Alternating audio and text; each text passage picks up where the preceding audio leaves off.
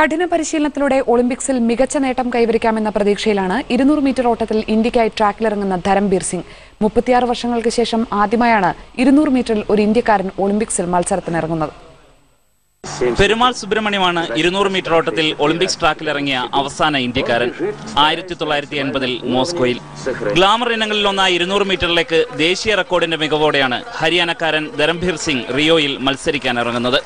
ഇരുപത് ദശാംശം അഞ്ച് പൂജ്യം സെക്കൻഡ് എന്ന യോഗ്യതാ മാർക്ക് ഇരുപത് ദശാംശം നാല് അഞ്ച് സെക്കൻഡിൽ ധരംഭീർ സിംഗ് മറികടന്നു അതോടെ വഴിമാറിയത് ഇരുപത് ദശാംശം ആറ് ആറ് സെക്കൻഡ് എന്ന സ്വന്തം ദേശീയ റെക്കോർഡ് കഠിന പരിശീലനം തുടരുകയാണെന്നും കടുത്ത മത്സരത്തെ നേരിടാനാകുമെന്നാണ് പ്രതീക്ഷയെന്നും ധരംഭീർ സിംഗ് പറഞ്ഞു कंपटीशन भी अच्छा मिलेगा और वेदर भी अच्छा रहेगा तो हम अपना बेस्ट करेंगे ഒരു വർഷമായി ധരംഭീർ സിംഗ് മികച്ച ഫോമിലാണെന്നും ഒളിമ്പിക്സിലും ഇത് നിലനിർത്താനാകുമെന്നാണ് പ്രതീക്ഷയെന്നും ധരംഭീർ സിംഗിന്റെ പരിശീലകൻ ഡോക്ടർ രമേശ് പറഞ്ഞു.